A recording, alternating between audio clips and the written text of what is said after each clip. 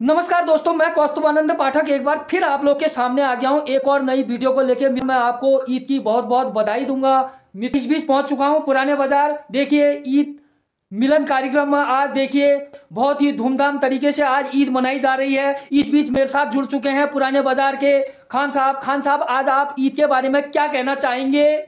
धन्यवाद पाठक जी धन्यवाद। आपका आप आए हैं और धन्यवाद। मिलन में आपका चैनल हर जगह देखा जाता है आपका चैनल पूरे उसमें छाया हुआ है आप किसी उसके मोहताज नहीं है आपका नाम इस समय बहुत ऊँची बुलंदियों पर चल रहा है। धन्यवाद और मैं अपनी तरफ़ से आपको शुभकामनाएँ देता हूँ ईद की भी और नवरात्रि की भी। धन्यवाद। आप हर साल आते हैं अच्छा लगता है आपको आप हमारे त्योहार में मिलजुल कर बिल्कुल भागीदारी करते हैं और अभी आप मेरे घर आए हैं और हर जगह आपको बुलाया जाता है और हर जगह आप जाते हैं। और आपकी गायन का भी बहुत बड़ा अच्छा चल रहा है। मेरी शुभकामना आपके साथ हैं। आप पाठक जी मैं आपसे अब किसी चीज़ के लिए कहना चाहूँ कि आप किसी चीज़ के मोहताज नहीं हैं। आप बहुत ही बहुत बड़े उसमें स्तर में काम कर रहे हैं। लोग आपको बहुत पसंद कर रहे हैं। और मेरी शुभकामना भी आपके साथ हैं कि आप ऐसे काम करते रहें। और ये जो चैनल आपने जोड़ा है इसमें सबको लेकर सब धर्म को लेकर आप अच्छी एक अपने आपने पहल करी है। और मैं आपको अपनी तरफ़ से हार्दिक ईद की बधाई देता हूँ। धन्यवाद। और- साहब आज ईद आ तो काफ़ी भीड़ होगी। हाँ सब लोग आते हैं फिर पाठक जी यहाँ जैसे धार चूल्हे से भी आ जाते हैं डीडी हाट से भी झूलाघाट से भी जितने मुस्लिम हैं सब यहाँ आते हैं फिर नमाज़ एक जगह ही होती है। और ईदगाह जो है हमारी बहुत बड़ी है और उसमें सब लोगों ने एक साथ नमाज़ अदा की और पूरे मुल्क के लिए हमने दुआ करी है एक भाईचारा के लिए दुआ करी है अमन शांति के लिए दुआ करी है और मिलजुल के रहें।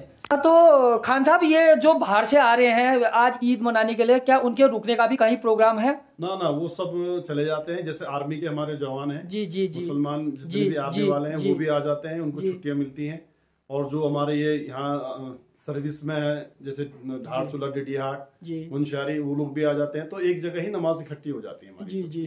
तो तो ये सब आज ही चले जाएँगे या हाँ, हाँ, धीरे धीरे जाएँगे रुक रुक के जाएँगे? ना, ना, बस अभी ये नमाज़ पढ़ी। खान साहब आज तो ईद थी। ईद आज कितने बजे पड़ी गई थी और कहाँ कहाँ पड़ी गई? अड़क जी आज साढ़े नौ बजे नीचे टकाना में ईदगाह के में साढ़े नौ बजे नमाज़ अदा करी गई और ऊपर पुरानी बाज़ार मस्जिद में दस बजे। और सब लोगों ने आके नमाज़ पढ़ी है और अच्छा एक संदेश गया है भाईचारे के लिए। हमने दुआ करी है पूरे मुल्क के लिए पूरे भारतवर्ष के लिए तरक्की और अमन और शांति के लिए। तो तो और इसमें अ, बिल्कुल शुद्ध सिमैये बनती हैं और दही फुल्कियाँ बनती हैं और बच्चों को ईदी मिलती है और एक दूसरे को गिफ्ट होता है मिठाइयाँ बांटती हैं। और ये ईद का एक हमारा पर्व होता है क्योंकि तीस रोजा रखने के बाद पाठक जी ये खुशियाँ मनाई जाती हैं ईद की और इसको इसलिए मीठी ईद कहते हैं। तो आज तो आप आपके मकान में भी काफ़ी भीड़ थी अभी हाँ, तक तांता लगा हुआ था आने जाने वालों का। इसी के साथ मैं चलता हूँ फिर मिलूँगा एक और नए वीडियो के साथ। तब तक नमस्कार सत श्रीकाल गुड बाय। धन्यवाद पाठक जी आपका। और बधाइयाँ हो एक बार फिर पूरे देशवासियों को पूरे मेरे शहर के लोगों को ईद की और नवरात्रि की। पाठक जी ऐसे मिलते रहे आपसे और ऐसी हमारी वीडियो बनती रहे। थैंक यू वेरी धन्यवाद। ओके ये देखिए।